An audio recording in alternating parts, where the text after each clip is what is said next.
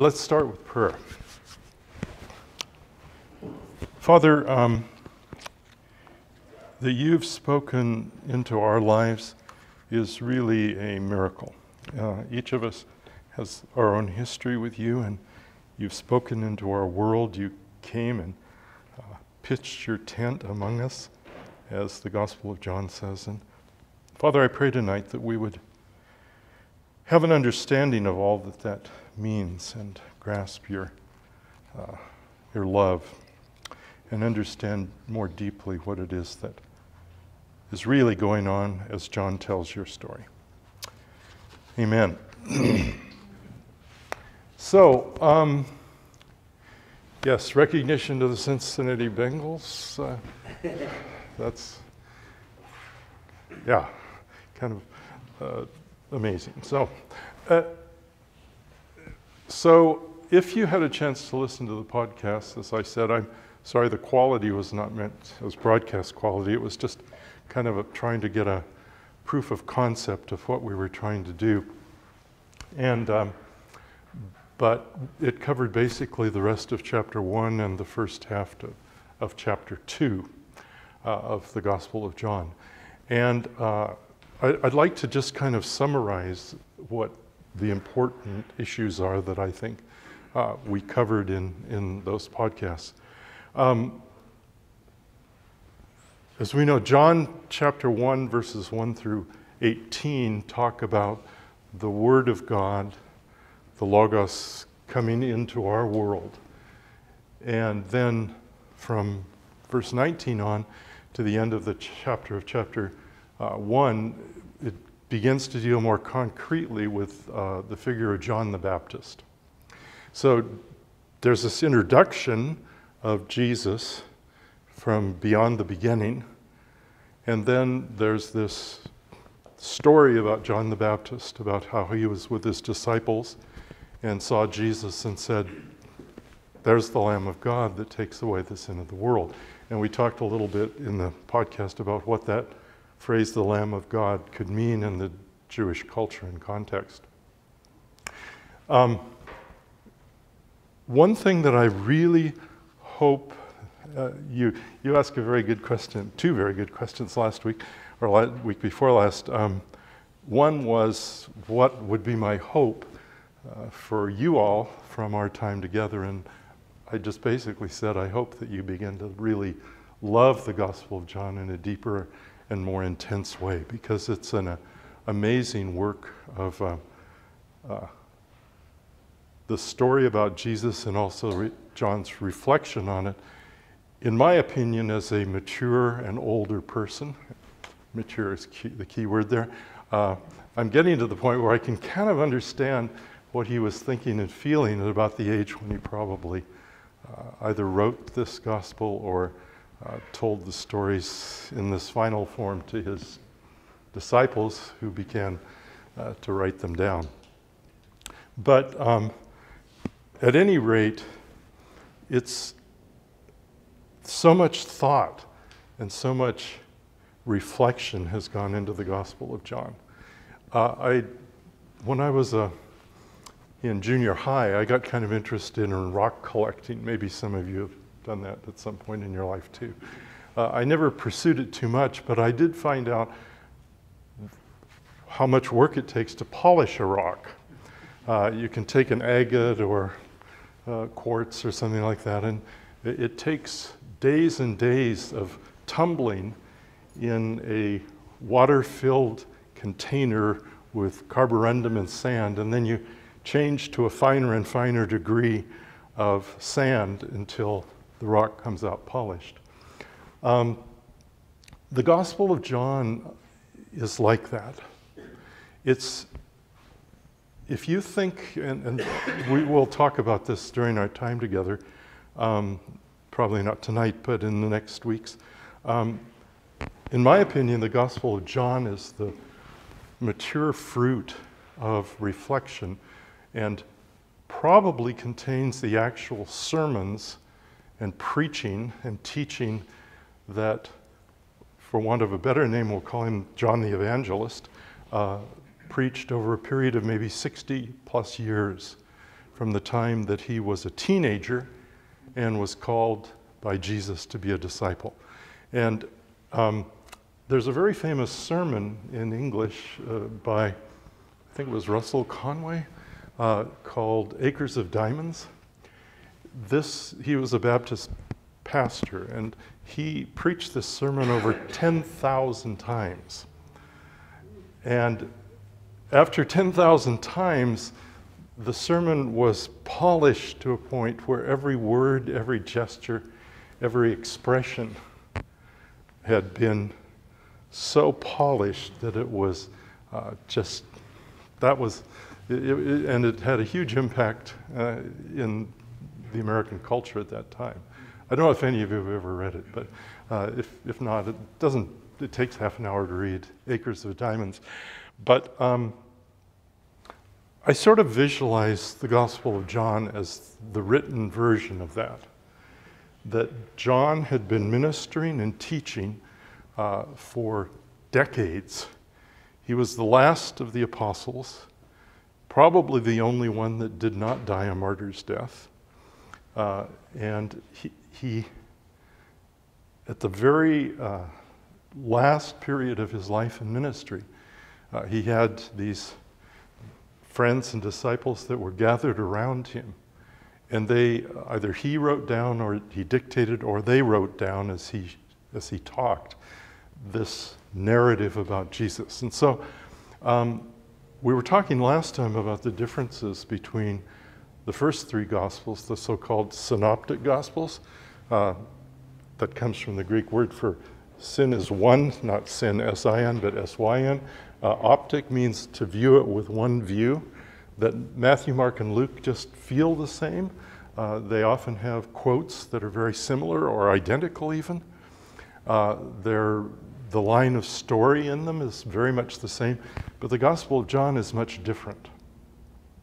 And the Gospel of John, I think, is the reflection of these decades of John's preaching and teaching uh, that are sort of distilled down into what we call the Gospel of John. And not surprisingly, uh, in some ways, it's much more polished than the Synoptic Gospels, than Matthew, Mark, and Luke.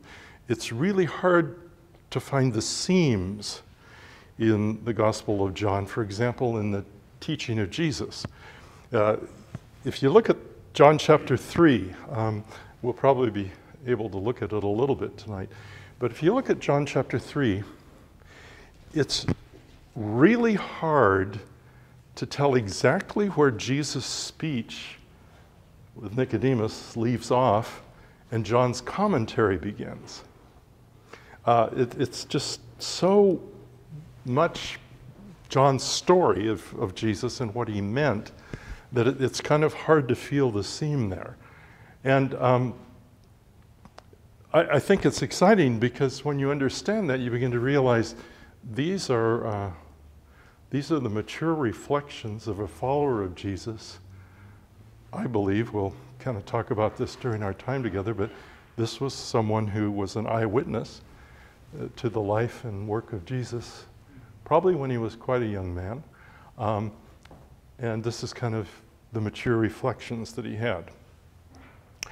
Um, in light of that, I'd like to kind of try to recapitulate um, two things. One is we mentioned that at the end of John chapter 1, we have the story of John the Baptist. There's a very interesting literary technique, I guess you'd call it, or a way of writing with things that happens in the Hebrew Bible quite a bit. But John does this too in the first three chapters, and it's called bracketing or bookending. Uh, at the end of John chapter 1, you have this section where he talks about John the Baptist and his message to his disciples about Jesus being the Lamb of God. And then we read on, and chapter 2 is there, and we'll talk about why chapter 2 is interesting. And then chapter 3, the conversation with Nicodemus. And then at the end of chapter 3, the other bookend appears. John the Baptist finishes, so to speak. And so John is just basically communicating in this framework where John starts with, There's the Lamb of God, and ends with, He must increase, I must decrease. Uh, he's the bridegroom, uh, I'm the organizer, so to speak, the friend of the bridegroom that is here to woo Israel to follow the Messiah. So um, that's the first thing that I wanted to note. The second, and um, if you had a chance to listen to the podcast, uh, why chapter 2? It, it seems like, uh, at first glance, from our point of view, we kind of think, all right, we have this huge story of the Word in the beginning and his association with God. And then we have John the Baptist, the Lamb of God, and everything. And then suddenly we find ourselves at this wedding in a little Galilean town. And it's kind of like, what happened here?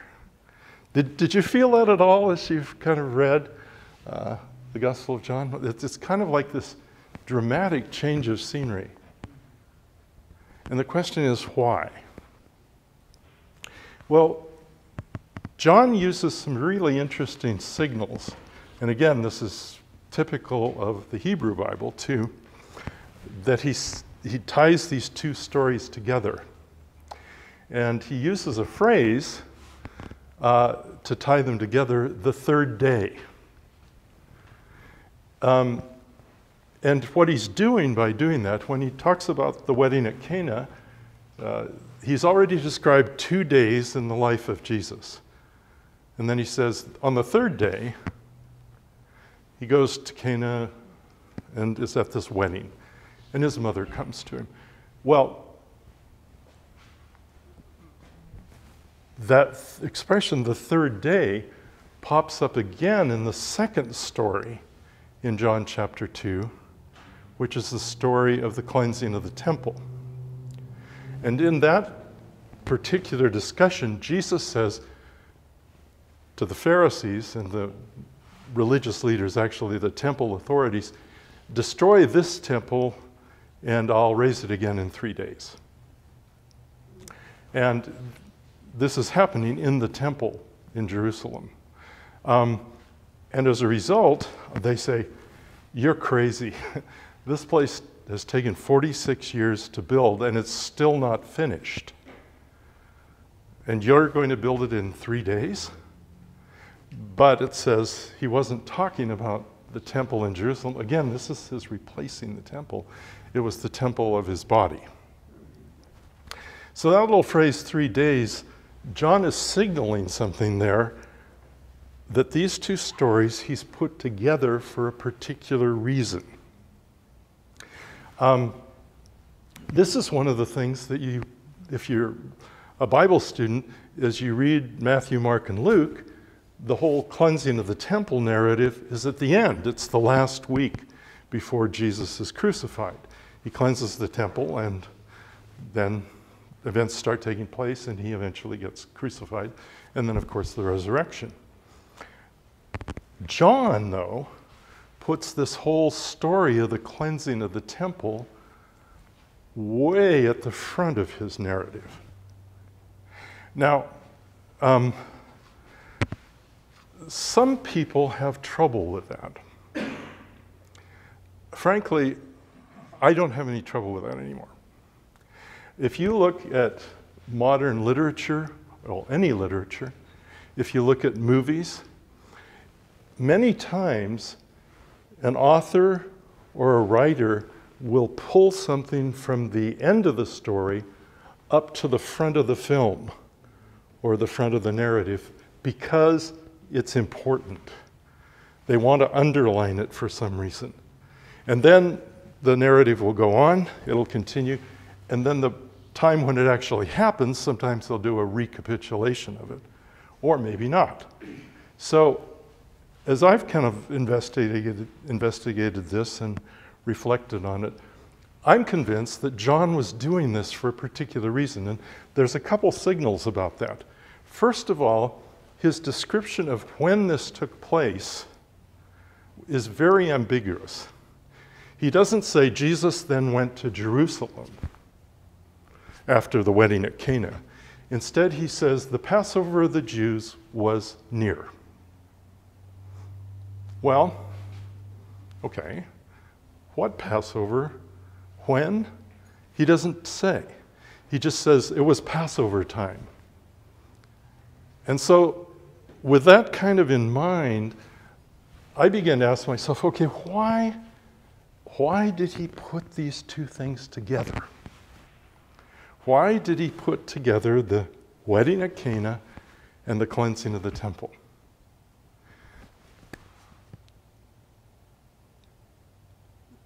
Think of the stories. Your Bible people. Think of the story of the wedding at Cana. Review in your mind what happened. Let's see if we can kind of review it together. Jesus is there, he's with his disciples. That was pretty normal, by the way. A teacher would bring his pupils with him.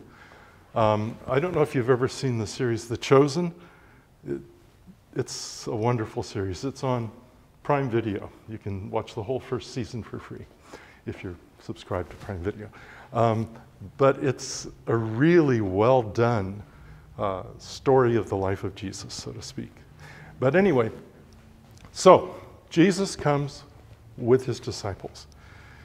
His mother's involved in helping out. Uh, it was probably, the wedding was probably held in the way that uh, sort of ordinary homes were arranged at that time was there would be a, a, number of houses around a central courtyard. That was often the grandparents, the parents, the children, the aunt, the uncle, and they would have their homes around a central courtyard. That would be sort of the family home. There's an archaeological dig taking place in Capernaum, by the way, where uh, they're investigating the traditional site of Simon Peter's home, which uh, is really interesting because it's the same arrangement. And it's probably, uh, it says in the Gospels that Capernaum was Jesus' hometown, not Nazareth anymore, but he'd relocated to Capernaum, and he probably lived in that expanded family unit, so to speak, of Simon Peter's uh, home in Capernaum. So, anyway, Cana, they've got this, and they're taking care, all the things are taking place in this courtyard. Uh, everybody and his neighbor is there, and his mother comes to him and says, They've got a problem. Um, they're running out of wine. Well, in our culture, we think, well, go to Trader Joe's for heaven's sake, you know? Well, it wasn't quite that simple. And the potential, and this really touches my heart, the potential damage to the future life of that young couple was enormous. They could have been shamed for their entire life. That's the couple that ran out of wine, you know, and their family embarrassed and everything. So Jesus' mother comes to him and she says, They're running out of wine. And Jesus responds in an interesting way. Um, he doesn't say, uh, Yes, ma'am, I'll take care of that.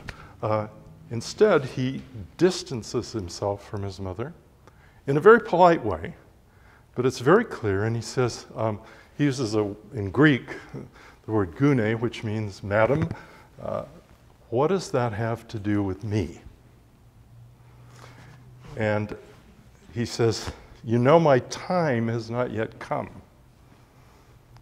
Well, in the Gospel of John, Jesus' time that he constantly refers to is the time of his crucifixion. So that's immediately a clue that something's going on here that maybe we don't grasp right away. This was dangerous ground for some reason. He says, basically, if I start down this road, it's going to end up in my death. We kind of look at it and we think, wow, why? Do you remember the rest of the story? What happens next? Yeah, correct. But where was the water supposed to go that he turned into wine? Do you remember?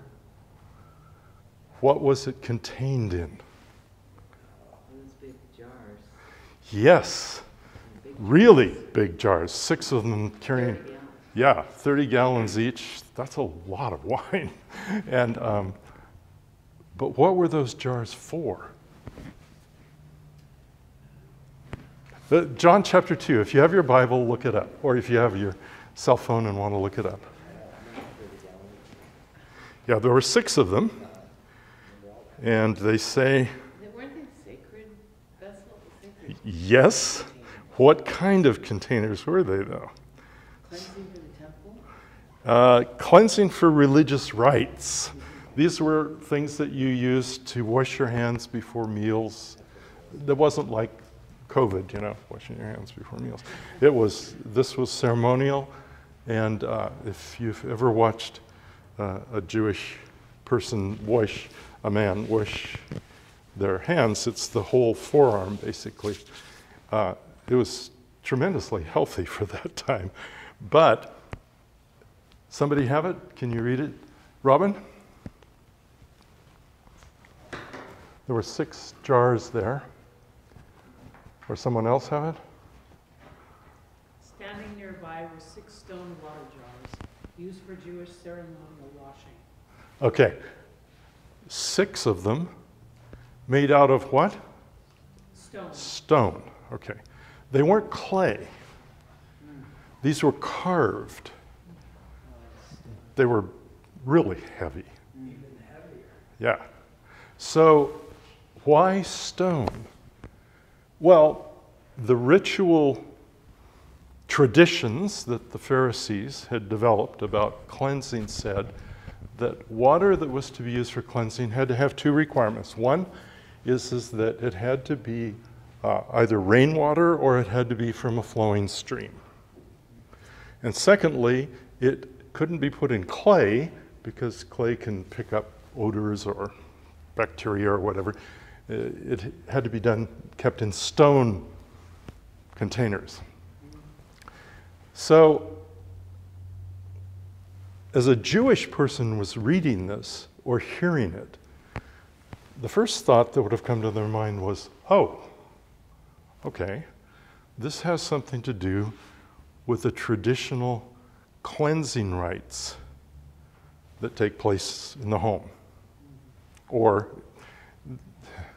if you go to Jerusalem sometime, on the south side of the temple, the Temple Mount has the Al Aqsa Mosque and Uh, everything up there, but on the south side, there's a, a, a large wall, really tall wall, and at the bottom, at the time of Jesus, at the time of the Second Temple, there were passageways, stairways leading up, two or three of them, leading up to the Temple Mount itself.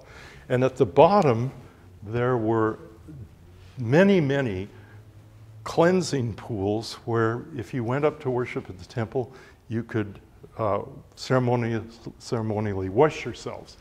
They were called mikvaot, or mikvah is the singular word for it. Uh, in Orthodox Jewish tradition, even today, uh, before you go to the synagogue service on Friday evenings, you go to the mikvah, uh, particularly women, but also men, to ceremonially cleanse, ceremonially cleanse yourself. So, this was a big deal. Um, it was very important to one of the key groups of people in Judaism at that time, namely the Pharisees. This was really important to them. They were very committed to keeping Israel pure. That's a whole other chapter that I hope we'll be able to get to as we go through the Gospel of John. But they were very committed to the purity regulations. Now, we don't feel what a Jewish audience at the time of the Gospel of John would have felt when it said, they're out of wine. There were ceremonial stone jars standing there used for purification. Um, if you were a good Pharisee, the hair would begin standing up on the back of your head, the back of your neck. It's hard for us to feel that. Um, this is not a very pleasant example, but imagine the story that you're reading or listening to, and it says, uh, sorry, this is Idaho, so. Um, this guy was in an outhouse and he discovered there was no toilet paper, but he glanced over and there was a Bible there. What happens to the hair on the back of your neck when you hear that? It's kind of like, seriously? Really? Wherever the story goes, we don't know. We'll leave it right there. It doesn't have to be finished. But um, that's the kind of feeling that a practicing Pharisee would have when they heard this story. It's kind of like, oh, this is not going to end well. And so Jesus pushes aside the ceremonial rules and regulations out of love for this young couple and their situation. And he says, This doesn't matter a bit. Fill it up to the brim. They probably didn't use rainwater either. They probably just went and got water from the nearest well. And they filled it up. And then the miracle happens, and Jesus changes the water into wine. Pharisees. They were one of the two power blocks in the Supreme Court and the ruling elite of the nation. The other power block, watch this, were the authorities in the temple. So, Jesus, with this story, when he said to his mother, This is going to get me killed, he was not joking. He knew that if he went down this road, that he would be starting a process that ultimately would end in the Pharisees hating him because he didn't respect their traditions. Don't forget the temple. We come to that in just a moment. But so he changes the water into wine, and the miracle happens. But by doing that, he violated the world view and the traditions of one of the two most important blocks of political leadership and power in the nation of Israel. Of course, everybody was under the Romans, but these were the two important ones. The Pharisees were one of the larger blocks of political power and authority in the Supreme Court of Israel, which was the highest authority under the Romans, the so called Sanhedrin. First story. Second story remember who the other folk are that are in charge? The priesthood, those who ran the temple.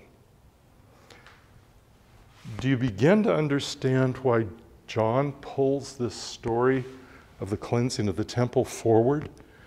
As if it were a film, you know, this is really important because in the cleansing of the temple, it was the final act in Jesus' conflict with the temple authorities, the priesthood. The Pharisees, his arguments with the Pharisees took place his entire period of ministry. His arguments with the priesthood of Israel, the temple authorities, was more sporadic. It was at different times when he was in Jerusalem. He wasn't always in Jerusalem. He was teaching in Galilee quite a bit of the time. But so these were the two most important power blocks in the nation and religious authorities. The Pharisees were primarily a lay movement. They had their teachers and rabbis.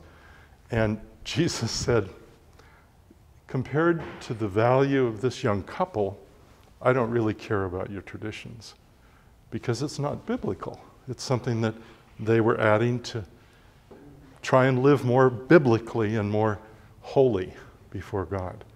And then Jesus' cleansing of the temple sealed his fate with the priesthood.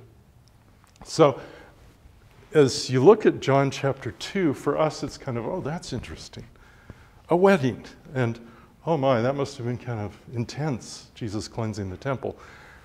But all the bells that would have gone off for a Jewish person in the first century, we don't hear them.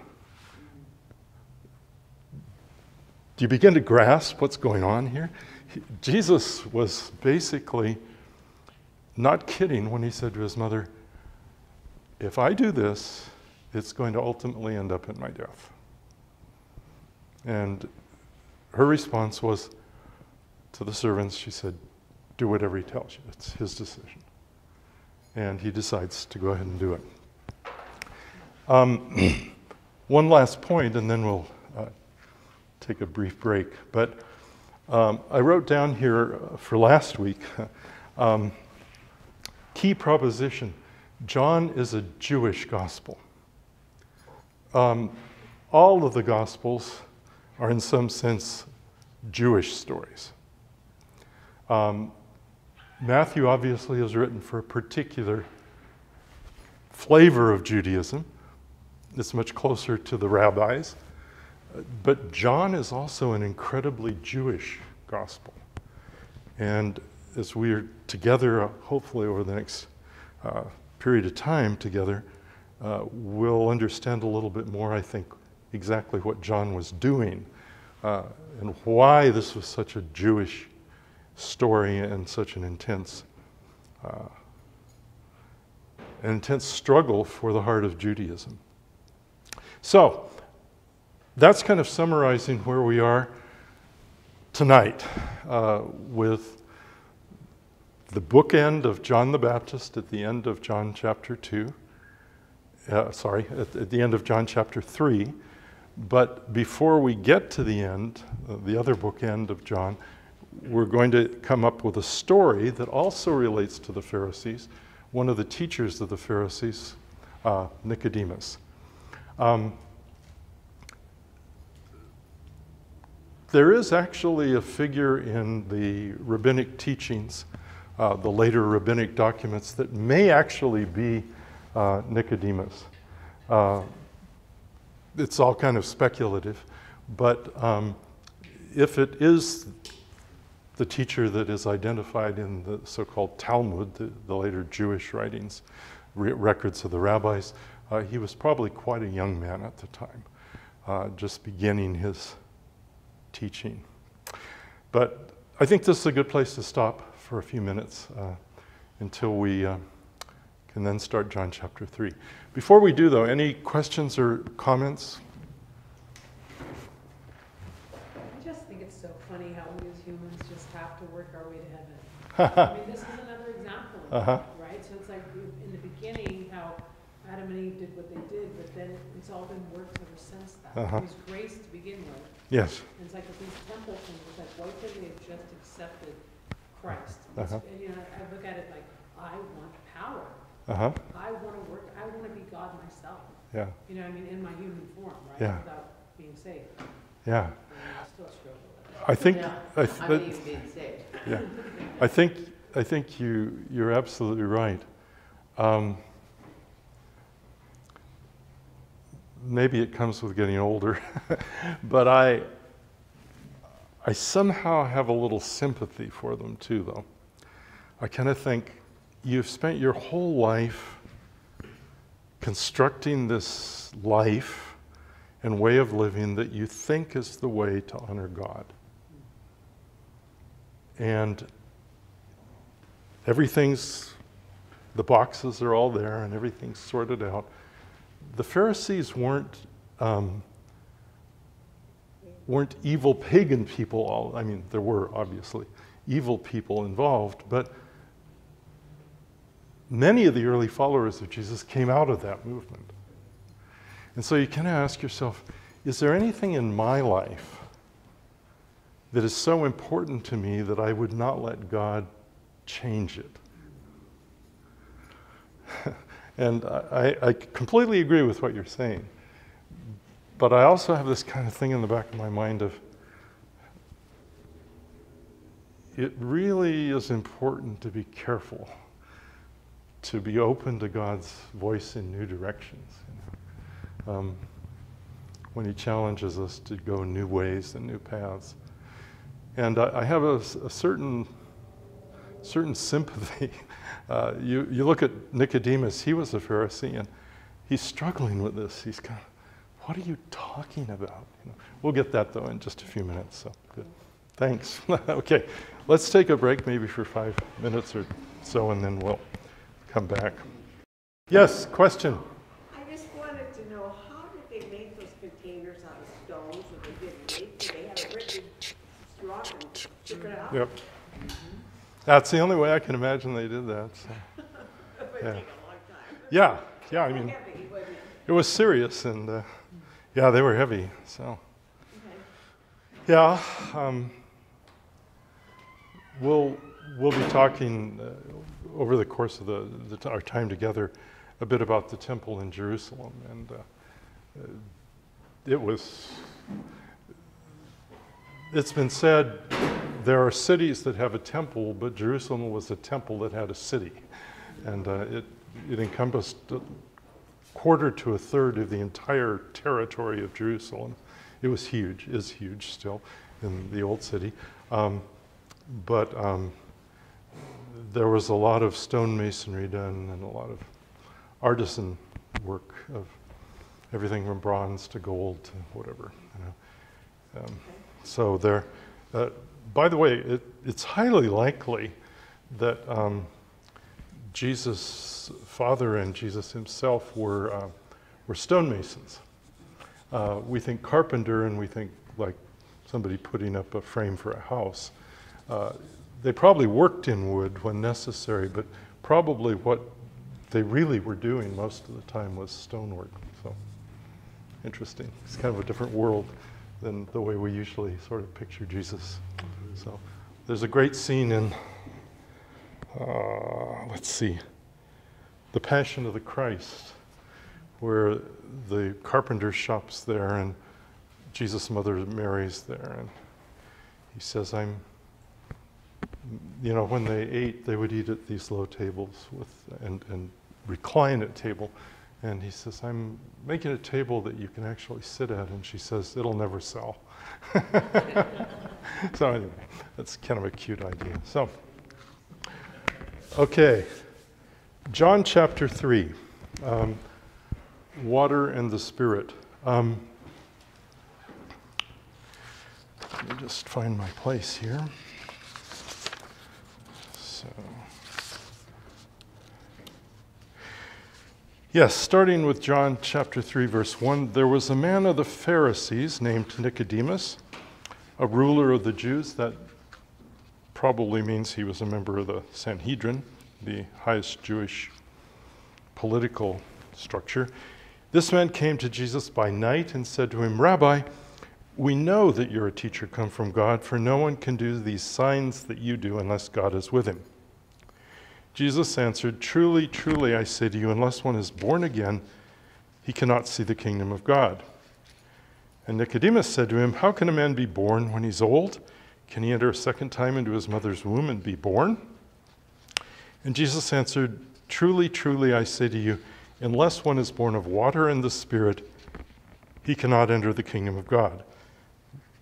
That which is born of the flesh is flesh, and that which is born of the Spirit is spirit. Um, yeah, as I said, the, reference that Nicodemus was a ruler of the Jews probably doesn't mean necessarily that he was upper class, but that he was an official member of the High Council uh, in Jerusalem. And the fact that he was a man of the Pharisees probably is also an indication that he was, uh, he was asking questions that others were asking as well. But he's talking about a specific individual, and Nicodemus would have observed the purity laws. that Jesus sort of hung on a hook in Cana at the wedding. So uh, Nicodemus comes to him with respect, and uh, Nicodemus ends up at the end uh, taking with Joseph of Arimathea the body of Jesus down from the cross. So this story is not over yet, but Nicodemus would obviously have had a lot of questions for Jesus. And uh, the Pharisees didn't have any vested interest in the temple. Uh, that was the province, as we said earlier, of the priesthood and the ruling class of the temple hierarchy. Those were the upper class people. They, they had most, the ones that ruled the temple uh, had the power under the Romans, of course. And as a result, the Pharisees had no great problem with calling the temple into question. But calling their religious purity traditions into question was a completely different story. Um, so he comes to Jesus at night and he says, We know. That's an interesting little word. He continues, No one can do these signs that you do unless God is with him. Um, Matthew, Mark, and Luke also report what we call miracles that Jesus did. That's the word we use for it in English. But John avoids that word for some reason. He doesn't use the same word that Matthew, Mark, and Luke use and expect that the entire New Testament uses for miracles. Uh, he uses this word signs. And that's an interesting question that we can kind of keep in the back of our mind is why he doesn't use the word miracles. But there's been a lot of speculation about why Nicodemus came to Jesus at night. Uh, some thought that he came out of fear of the other Jewish leaders. He might lose his reputation. Maybe he was a timid person. But um, the movement of the Pharisees was a lay movement. And so, except for the very highest rabbis who could basically afford because of their huge following, not to work, most of the rabbis and most of the Pharisees had day jobs. Uh, they worked doing whatever. You know, they were stone workers or they had a shop or they were a lay movement. And so it, it wasn't unusual for the theological discussions that the Pharisees had to take place in the evening after uh, sunset, after dinner uh, that would be the time they got together and uh, would ask questions. So it's, we can speculate about it, but it was after the workday. And Nicodemus may have just come at that time out of convenience. Jesus was obviously surrounded most of the day by large crowds, and he came. But in the Gospel of John, the word night is an ambiguous word darkness. It can also mean moral darkness and spiritual darkness. And so Nicodemus coming at night is maybe got that kind of flavor to it also. So he comes to Jesus and he politely calls him rabbi or teacher.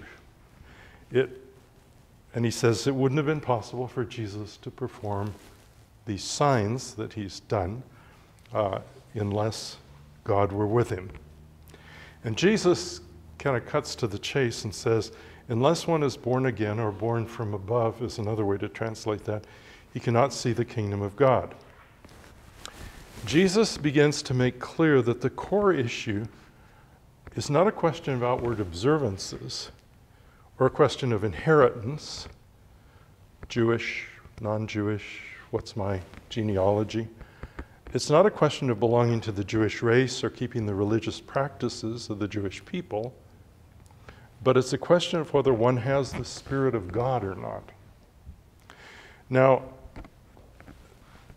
Nicodemus obviously knew the Hebrew Bible, and he de- Jesus declares to him, uh, I'm going to say something here that is really important to you. No one can see the kingdom of God unless they're born again. This is the first time in the Gospel of John, but it's not the last one that Jesus challenges people to a new way of seeing. Look, pay attention, open your eyes, So he says, no one can see the kingdom of God unless they're born again. Um, Jesus says literally here that one needs to be born from above or born from anew. And Nicodemus goes literal on him. and uh, it's probably meant as a serious question, but it's kind of like, what are you talking about? Can we go back into our mother's womb and be born? And this representative of the Pharisees' religious elite, basically, is clueless about what Jesus is talking about. He stands in probably for the whole class of people who just didn't get it. How can a man be born when he is old? And Jesus says then, truly, truly, those are two Hebrew words, by the way. Amen, amen. Uh, I don't know if you've ever been at a synagogue service. It's still present in the synagogue service today. Um, the, uh, at certain places in the synagogue literature, it says, and all said, and then the congregation says, Amen. And then the leader of the liturgy says, Amen, Amen. Truly, truly. So it's, uh, it's a very old expression. But the interesting thing is uh, that Jesus says, I, This is important. It's so important that I really want you to listen to it. And then he says, Unless one is born of water and the Spirit, they cannot enter the kingdom of God. There's been a discussion that's gone on for centuries in Christian teaching about what it means to be born of water and the Spirit. Um, I've kind of wrestled around with this, and a lot of other people smarter than I have also. Um, and I think the best answer to what Jesus is saying here is that this is kind of an interpretive riff on a section of the prophet Ezekiel. You remember the uh, God pouring out his spirit on the people in a new way, on the nation of Israel? Do you remember the old uh, African American spiritual dem bones? Uh, about the bones that were in this vision that the prophet Ezekiel had. They were just dead bones in this valley of judgment. And the wind comes, and these bones begin to go together again, and flesh comes on them, and they come to life. And that wind in Hebrew is the very same word for spirit. And so Ezekiel was playing with this concept of wind and spirit in that vision that God gave him. And Jesus, I think, is picking up on that. And he said, if you really want to understand what's necessary to see the kingdom of God, to recognize what's going on, and to be part of God's new world, which was the key Jewish question was, how can I be part of God's new world? It wasn't, how do I get to heaven? It was, how can be, I be part of what God's going to be doing in his new world uh, when he remakes everything? Um, and so he says, uh, you need to be born of water and of the Spirit. And um, Ezekiel's talked about this giving, God giving people a new heart. And I, I think that water needs to be understood here in con- the context of the whole Gospel of John. And Jesus was probably referring to the baptism of, of proselytes, of people that wanted to become Jews. But remember, John the Baptist. He was calling the nation to repentance. He was basically using water rituals for Jews that were actually intended for Gentiles that wanted to become Jews.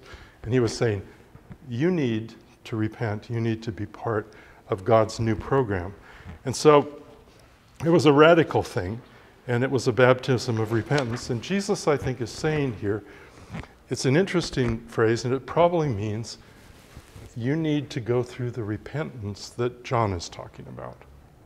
That's what it means to be born of water and of the Spirit, is, is that you need to understand that you need the Spirit of God to come upon you in a new way to remake the nation of Israel. Um, So Nicodemus, though, still doesn't really get it. And he's still a distance from where he's ultimately going to end up. But Jesus says to him, I say to you, unless this one is born of water and the Spirit, he cannot enter into the kingdom of God. And in other words, unless one's willing to go through the type of repentance that John the Baptist was talking about, also for Jewish people, and receive the Spirit of God through Jesus, one cannot be part of God's new world. So I think what Jesus was saying repentance and the gift of the Spirit. And we're going to be coming across that again and again in the Gospel of John. And Jesus says in verse 6 that which is born of flesh is flesh. What is born of the Spirit is spirit. In other words, he's making clear this isn't some evolutionary development from flesh to spirit. This is a radical quantum leap, a, a radically new thing of God's Spirit birthing people to new birth, new, new life in Christ. And Jesus says in verse 7 to Nicodemus, You shouldn't be surprised at my saying you should be born again. I could imagine Nicodemus saying, Right. you know, I'm not going to be surprised by this. Well, Nicodemus is supposed to be a teacher of Israel. And Jesus is probably saying, Didn't you read Ezekiel? Don't you get it? You're the teacher of Israel. Think of your own Hebrew Bible. What, what, what's so difficult about understanding this? Because in Ezekiel 36, God says, I will cleanse you, I will cleanse you, note, I will give you a new heart and a new spirit I'll put within you. I'll remove the heart of stone from your flesh, he's speaking to the Jewish people, and give you a new heart of flesh, and I'll put my spirit within you and cause you to walk in my statutes and be careful to obey my laws. So Jesus is saying basically, Nicodemus, don't you understand what happens in God's new world? You really need to know this. You're a teacher. You know, make some connections here. He's not impolite, but he's saying, come on, Nicodemus, let's get these wires put together. Uh, you're the teacher of Israel. And um, I mentioned that wind and spirit are the same in Hebrew. That's also true, by the way, in Greek uh, and also in Aramaic, which was probably the common language that was spoken in uh, Galilee and Judea by the Jewish people at the time of Jesus. It's kind of a uh, kind of a descendant, I guess you would say, of Hebrew. Uh, it, it's very similar to Hebrew, but it was probably the common language that was used. But it's always the same. Wind and spirit are the same word. So, everyone born of the Spirit, just like the dry bones in Ezekiel's vision. And Jesus uh, shares this. In verse 9, Nicodemus again responds, totally clueless, How can these things be? And Jesus says, Are you the teacher of Israel? Yet you don't understand this? And Jesus is saying to him, How do you not understand this? Have you not studied the teaching of the prophets? Don't you know about Ezekiel? Haven't you heard of the voice of the Spirit, how it blows through the bones, gathering a new people of God, being born into a new community? How are you going to get this, Nicodemus, if you don't even investigate and really think through the Hebrew scriptures? Um, we'll see later in the Gospel of John, but um, I don't know if you've ever been at a really formal dinner where they have uh, sterling silver uh, plates and things like that, uh, serving things. Sterling silver, um, the old sort of really classy kind, has on it a mark called a hallmark and it's the stamp that the uh, person who made it puts on it. Um, Paul Revere, some of the most valuable silver things that are in the United States today are have the mark of Paul Revere, the silversmith from Boston, you know. So, and, and there's others that are much older, but the hallmark, that sort of stamp on God's new people, is the presence of His Spirit. The Holy Spirit, according to the New Testament, and particularly John, the hallmark of true Christian faith is the presence of the Holy Spirit. It's the presence of the Holy Spirit in our individual lives and in our life as a community. It doesn't depend on the words we use. It doesn't even relate to our social position. It has to do with having the Spirit of God, of being born from above. And this ultimately, according to the Gospel of John, is the question, the answer to the question of who we are. The real answer, whether we come from the upper class or lower class or middle class, the answer is we are the people of the Spirit. And that is a dramatic thing at the time of the New Testament. The Apostle Paul can write, he can say, In Christ there's neither Jew nor Greek, Jew or Gentile. That's huge. Uh, male or female doesn't mean there aren't a difference between male and female or that there's a difference between Jew and Greek. Yes, there is. Slave and, and, and free, the slave and the master, but we are one in Christ because we have the Spirit. That's who we're meant to be. We're the people of the Spirit, the New Testament says. And Paul's thinking in 1 Corinthians, for example, says that a person without the Spirit of God uh, doesn't belong to God's new world, isn't part of God's people. And Jesus says, You need to understand this. Because it says, You all, you Pharisees, in verse 12, um, you have, or 11 and 12, you haven't accepted and you're continuing to not accept our witness. If I've told you earthly things and you don't believe, how can you believe if I tell you heavenly things? Well, what kind of heavenly things? Well, remember the end of chapter 1? It says, Jesus is the place like the ladder of God that Jacob had in his vision when he was on his way to his uncle's. And he lays down and he says, This is the house of God because he saw the angels of God ascending and descending. Jesus basically at the end of John chapter 1 said, I'm the replacement for that. I'm where you can find God. That's a huge claim. It's almost unimaginable what that must have, the effect that must have had. And this vision of heaven is tied in with the prophet Ezekiel. Again, and so Jesus says in verse 13, No one has ascended into heaven except he who has descended from heaven, the Son of Man. Um, that term, the Son of Man, is important, and we're going to come back to that. But um, Jesus claimed that he ascended and descended from heaven. He came from heaven, and he will ascend again into heaven. And he's saying to Jesus, uh, to Nicodemus, you need to understand this. And then he goes into this metaphor about Moses and the serpent. And this gets close to this very famous verse that we all know, John 3:16.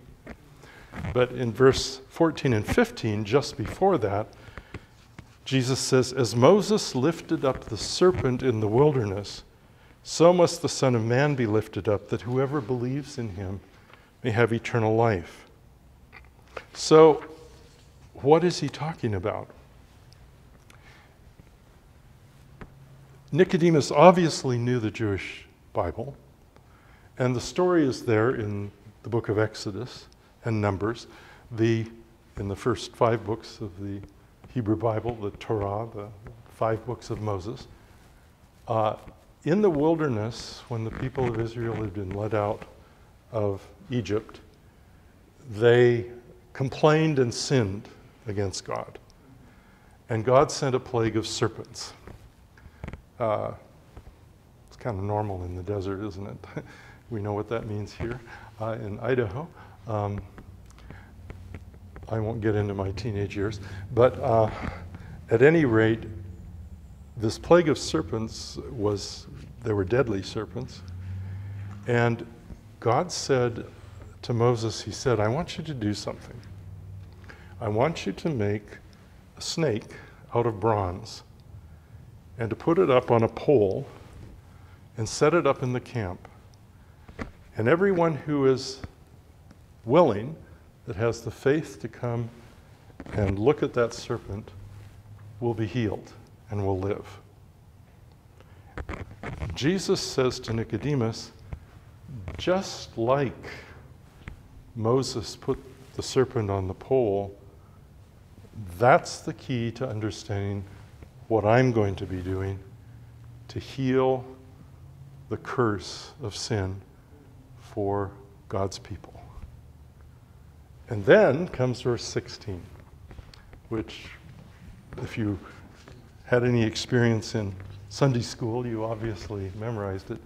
Uh, God so loved the world that he gave his only son. That's probably not the best translation, sorry. Don't mean to interfere with your childhood memories. It probably is better translated God loves the world like this. God loves the world this way that he gave his only Son, that whoever believes in him will not perish but have everlasting life. So, God's love, we usually understand it as meaning God loved the world so much, don't we? That's the way we usually read that. God so loved the world. But it actually probably means better translated God loved the world this way. This is the way God's love is manifested. This is the way God's love is shown is that he gave his only son that whoever believes in him would not perish but have everlasting life. So it goes on, and uh, Jesus talks about darkness and light. That's a whole new topic that comes up again and again in the Gospel of John uh, about light and darkness. It says he's obviously using light in a, in a metaphor. He's saying people choose moral and spiritual darkness rather than light because their deeds are evil. And he goes on then and he says at the end, um, there's a review, so to speak, at the end of chapter 3 about um, where John the Baptist sort of closes out his message to his disciples and to the world. And he says, Follow him. He must increase, but I must decrease. And that picture there is probably like the picture of the moon fading in light as the sun comes up. So, as the sun increases, the light of the moon uh, becomes less and decreases. It's the light of day. And so, the important picture here of God giving his son as a sacrifice for sin as the Lamb of God is um, something that I think we're going to have to talk about a little bit because it's, it's difficult for some people. And again, um, where Ann and I work and live most of the time in Berlin, uh, this is a hard concept for people to understand about God giving his son. Um, I'd like you to just suspend judgment for just a minute and try to put yourself in the place of someone who has never believed in God and who hears that God gave his son for sin. It sounds to a person that grew up far from the door of the church like abuse. That's really difficult for people. And that's why the message is the, the totality of the message of the gospel is so important. Like the Apostle Paul says in 2 Corinthians 5 God was in Christ, reconciling the world to himself.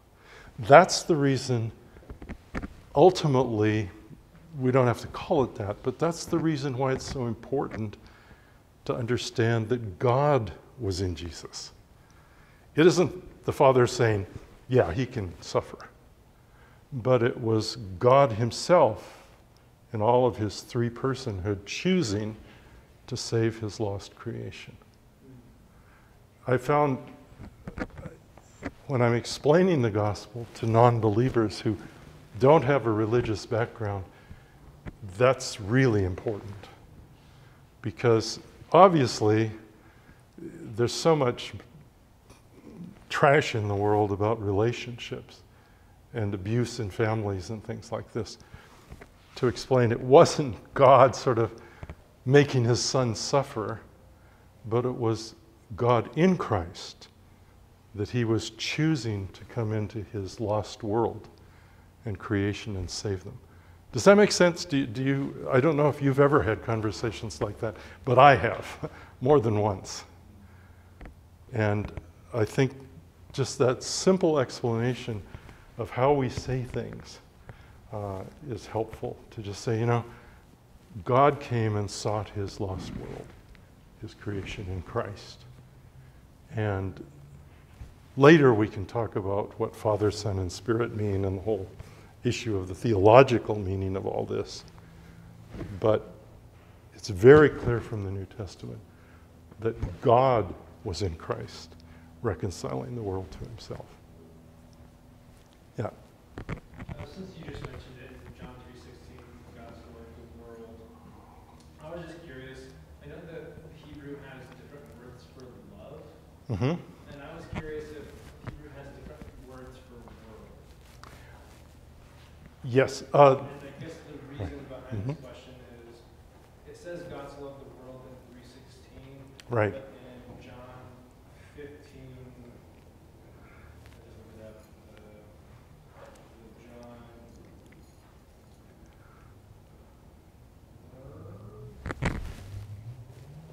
Are you looking for the verse that says the, the world will hate you? First John 2.15 says, do not love the world or the things in the world. Right. Anybody loves the world, the Father. Yes. And Yeah. So I guess I was. That's an excellent that question. might have two. Yeah, that's an excellent question. Um, in the background, of course, is Hebrew and Aramaic, but the New Testament was written in Greek.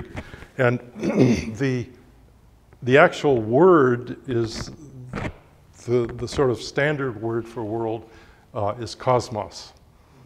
And that word has a breadth of meaning, though. Um, it can mean, we get our word cosmetics from it. Uh, it can mean appearance or beauty. It can mean um, organization and structure, like we use the word cosmos, you know, the cosmos. Um, but it also can be translated world. And you have to decide from the context what that means. And the interesting thing is, I, I think you've put your finger on something very important, is, is that the world rejected Christ. In John chapter 1, it says he came to his own and didn't receive him. He came into the world that he'd made and they didn't uh, accept him. And in some degree, God's love wrapped his arms, so to speak, around that that rejected him. But a part of that world doesn't change. And in John chapter 3, it says people can choose darkness or light. And you've, you've picked out a very important theme for the entire Gospel of John, which is light and darkness, and related to the world. And uh, you're absolutely right. Uh, it's, but it's not a question of different words, it's a question of different contexts and meaning uh, for the word world. Um, we can use that in our modern thing, like uh, the world of my grandson, or uh, the world court. Uh, we just, you have to really pay attention to the context of, of the word. But that's an excellent question. Any other questions about John chapter 3? I actually have a note here. Who then is the world for the author of John? In John 15 and the first part of 16, uh, the Judean religious authorities are labeled as the world, the opponents of Jesus that wanted to kill him. But it goes on, in, like you quoted from 1 John also. So, um, we're basically at the end of John chapter 3. And the scene is going to change uh, this next week to John chapter 4. Remember, I said we would. We don't understand why the hair stood up on the back of the Pharisee's neck when they heard about these ceremonial pots. It gets even worse in John chapter 4. It, it's just kind of like, whoa. Um, there's a great scene in this series, The Chosen, um, where Jesus tells his disciples they're going to go through Samaria. And the disciples say, What? the Samaritans, they just, they're evil. They destroyed our temple, they, they polluted the land, they're, they're, they're heretics, they, they're, they're not Jews, but they believe some things. And Jesus says, Get used to this. uh, this is going to happen more than you imagine. So uh, that's what comes next. Any thoughts or questions about John 3? Good thoughts and ideas that you've had too. Um, there's a lot, a lot there, a lot more.